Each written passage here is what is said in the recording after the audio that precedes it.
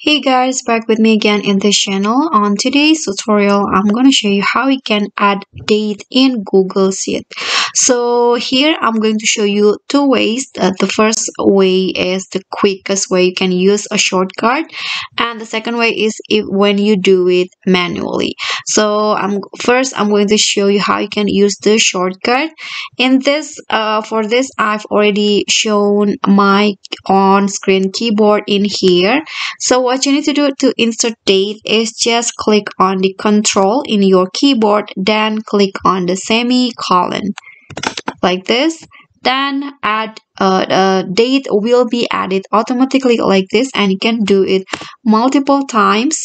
So this is how uh, this is for if you want to add the current date in your calendar like this. And if you want to change the format date. You can just go to format number and then click on custom date and time. Then choose the format that you prefer. For example i prefer this ones right here.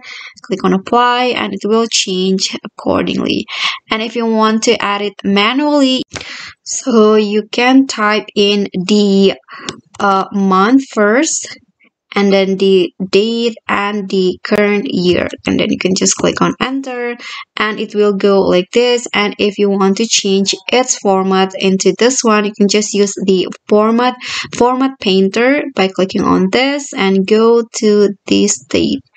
Okay so that's all. I hope this will be helpful. Thank you so much for watching. Don't forget to like comment subscribe and also click on thanks below. I'll see you all on the next tutorial. Bye